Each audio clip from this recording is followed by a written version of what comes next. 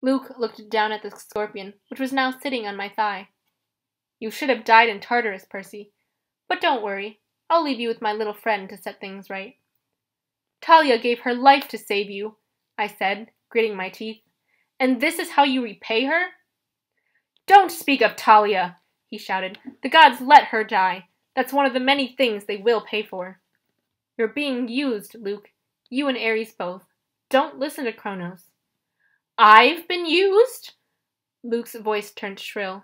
Look at yourself. What has your dad ever done for you?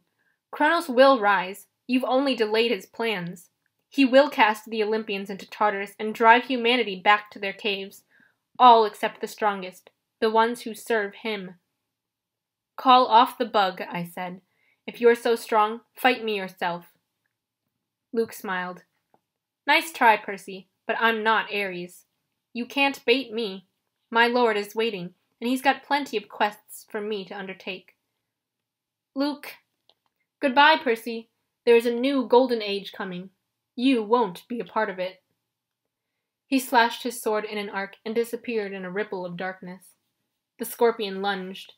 I swatted it away with my hand and uncapped my sword. The thing jumped at me and I cut it in half in midair. I was about to congratulate myself until I looked down at my hand. My palm had a huge red welt, oozing and smoking with yellow guck. The thing had gotten me after all. My ears pounded. My vision went foggy.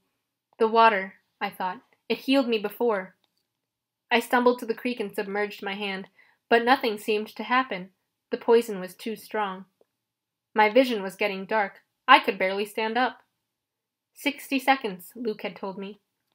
I had to get back to camp. If I collapsed out here, my body would be dinner for a monster. Nobody would ever know what had happened. My legs felt like lead. My forehead was burning. I stumbled toward the camp, and the nymphs stirred from their trees. Help! I croaked. Please! Two of them took my arms, pulling me along. I remember making it to the clearing, a counselor shouting for help, a centaur blowing a conch horn. Then everything went black. I woke with a drinking straw in my mouth. I was sipping something that tasted like liquid chocolate chip cookies. Nectar. I opened my eyes. I was propped up in bed in the sickness of the big house, my right hand bandaged like a club. Argus stood guard in the corner. Annabeth sat next to me, holding my nectar glass and dabbing a washcloth on my forehead. Here we are again, I said. You idiot, Annabeth said, which is how I knew she was overjoyed to see me conscious. You were green and turning gray when we found you, if it weren't for Chiron's healing. Now, now, Chiron's voice said, Percy's constitution deserves some of the credit. He was sitting near the foot of my bed in human form, which was why I hadn't noticed him yet. His lower half was magically compacted into the wheelchair, his upper half dressed in a coat and tie. He smiled, but his face looked weary and pale, the way it did when he'd been up all night grading Latin papers. How are you feeling? he asked. Like my insides had been frozen, then microwaved. Apt, considering that was pit scorpion venom. Now you must tell me, if you can, exactly what happened. Between sips of nectar, I told them the story. The room was quiet for a long time. I can't believe that Luke. Annabeth's voice faltered. Her expression turned angry and sad. Yes, yes, I can believe it. May the gods curse him. He was never the same after his quest. This must be reported to Olympus, Chiron murmured. I will go at once. Luke is out there right now, I said. I have to go after him. Chiron shook his head. No, Percy, the gods won't even talk about Kronos, I snapped. Zeus declared the matter closed. Percy, I know this is hard, but you must not rush out for vengeance. You aren't ready. I didn't like it, but part of me suspected Chiron was right. One look at my hand, and I knew I wasn't going to be sword fighting any time soon. Chiron, your prophecy from the oracle. It was about Kronos, wasn't it? Was I in it? And Annabeth? Chiron glanced nervously at the ceiling. Percy, it isn't my place. You've been ordered not to talk to me about it, haven't you? His eyes were sympathetic, but sad. You will be a great hero, child. I will do my best to prepare you, But if I am right about the path ahead of you. Thunder boomed overhead, rattling the windows. All right! Chiron shouted. Fine! He sighed in frustration. The gods have their reasons, Percy. Knowing too much of your future is never a good thing. We can't just sit back and do nothing, I said. We will not sit back, Chiron promised. But you must be careful. Kronos wants you to come unraveled. He wants your life disrupted, your thoughts clouded with fear and anger. Do not give him what he wants. Train patiently. Your time will come. Assuming I live that long. Chiron put his hand on my ankle. You'll have to trust me, Percy. You will live. But first, you must decide your path for the coming year. I cannot tell you the right choice.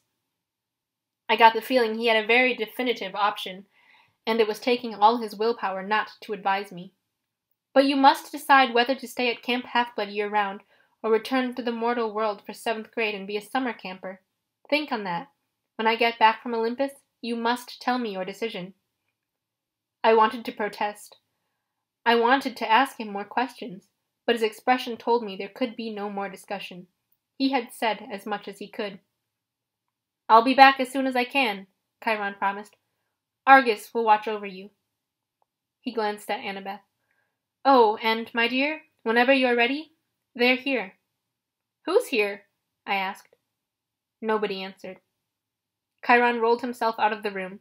I heard the wheels of his chair clunk carefully down the front steps, two at a time.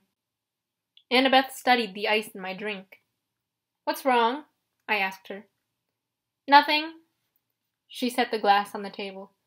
I just took your advice about something. You, um, need anything? Yeah, help me up.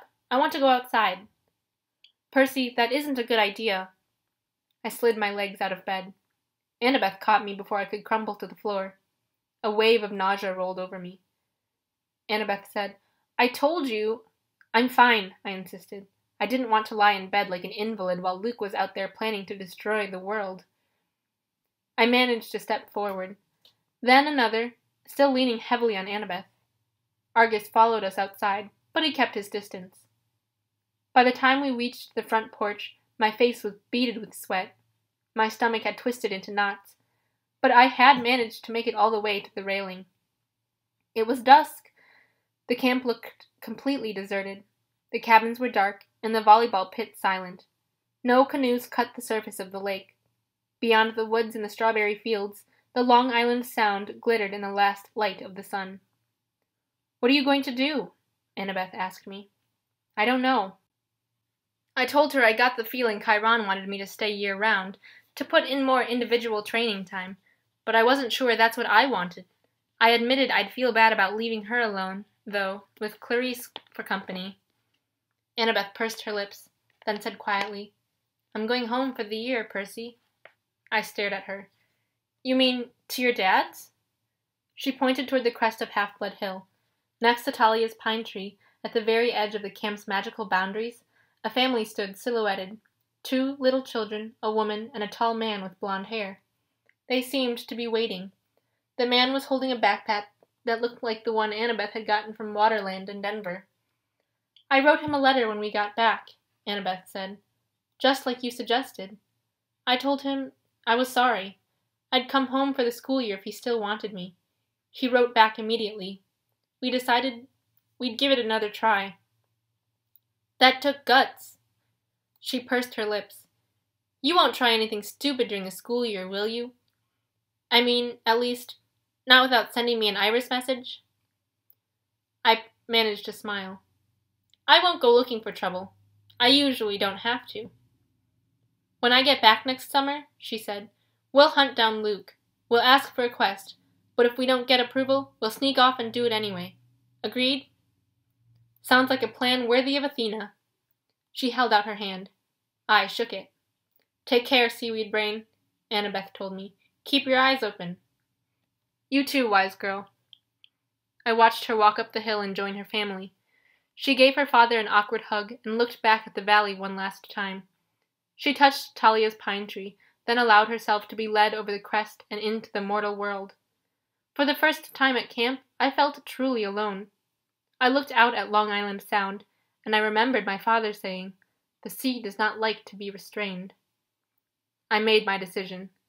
I wondered if Poseidon were watching, would he approve of my choice?